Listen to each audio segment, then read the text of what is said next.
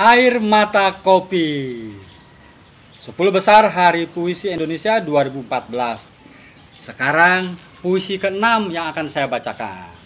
Setelah kemarin 5 ya Jangan minum kopi, tak semanis kopi Kopi jos, kopi pangku, kopi tubruk. Yang ke-6 Orchard Road.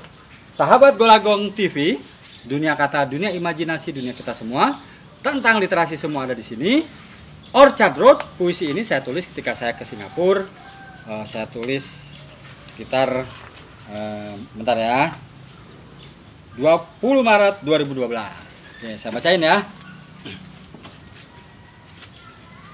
Oh, ini nih, sorry, ini punya Edi Boneski nih, dititipkan di sini. Ini Ikro kata Edi Boneski.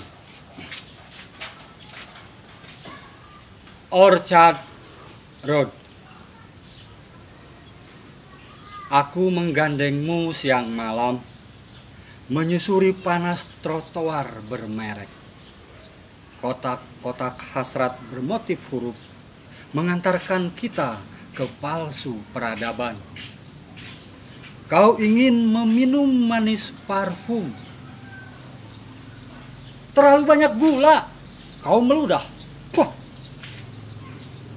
Kau meminta mas kawin kepadaku menyulap apartemen jadi kebun kopi, mengganti kucing dengan luwak, mengusir Starbucks ke negeri asal, melemparku ke kereta bawah tanah. Tubuhmu penuh luka, kau berteriak. Aku ingin kau meminangku saat purnama, meniduriku di samping ranjang pengantin. Di negeri awan menyeduhkan kopi buat pelanggan di kedai milik kita di kampung halaman berdebu. Tapi purnama kembali tak bercahaya. Aku terkurung di etalase tanpa kaca, memasang beragam harga di tubuhku. Aku masih ingin terus di sini bersamamu siang malam menyusuri trotoar menganga, menguburkan mimpi kita tentang kebun kopi. Aku mencari-cari pusaramu. Nah, puisi selalu hadir atau muncul dari hati.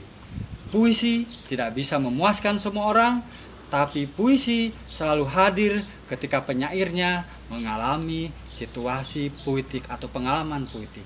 Jadi, setiap puisi yang lahir dari para penyair silahkan ditafsir bebas. Dikritik jelek, ditafsir baik, menggetarkan hati, atau jadi sampah. Segalanya terserah Anda. Golagong TV tentang literasi semua ada di sini.